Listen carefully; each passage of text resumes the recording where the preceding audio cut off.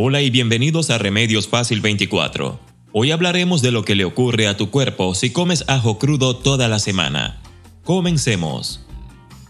El ajo tiene entre sus propiedades medicinales naturales la peculiaridad de combatir infecciones respiratorias, dilata los bronquios, fluidifica las mucosas, estimula el sistema inmunológico. Además, un excelente desintoxicante para el organismo rico en vitamina B. Las propiedades curativas y culinarias del ajo lo hacen una joya para la salud.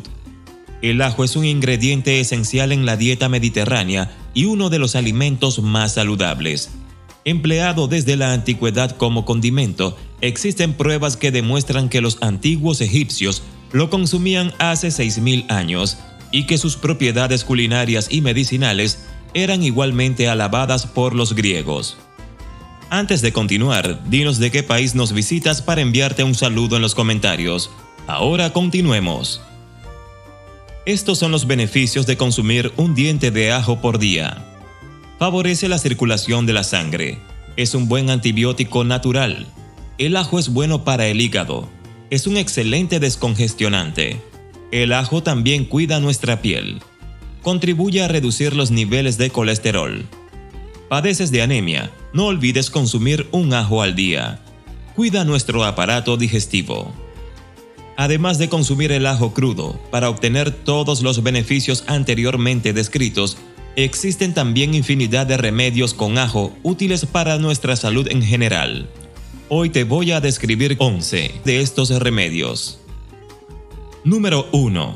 Acné. Se corta un diente de ajo por la mitad y nos frotamos la cara con él. Utilizamos la parte interna. Al rato, lava bien con jabón neutro para quitar el olor. Las propiedades antibacterianas del ajo ayudan a disminuir la aparición del acné y logra hacer remitir al que ya tengamos. Número 2. Pesticida. Las moscas blancas, áfidos, escarabajos y hasta babosas todos estos temas se pueden controlar con el ajo. Lo ideal es plantar ajo por todo nuestro huerto.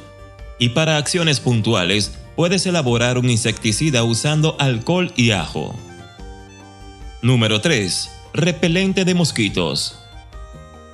Podemos hacer un efectivo pero algo oloroso repelente usando ajo. Los mosquitos lo detestan más que los vampiros.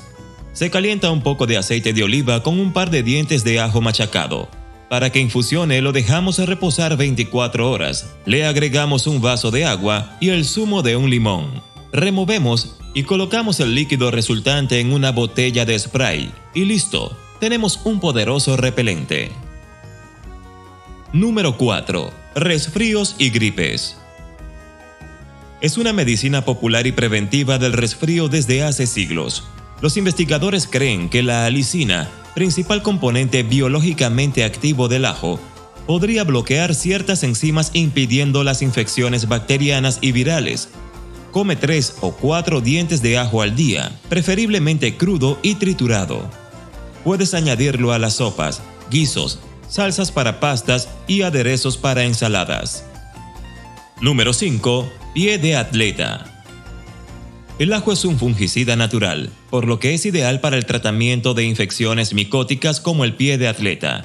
Así que para terminar con la comezón e irritación en nuestros dedos del pie, añade unos dientes de ajo machacado en una bañera con agua tibia y sumerge los pies por 30 minutos aproximadamente. Número 6. Sacar astillas de la piel. Clavarse una astilla es doloroso Además, es necesario sacarla por el riesgo de infección, y a veces puede ser complejo e incluso tienes que cortar la piel.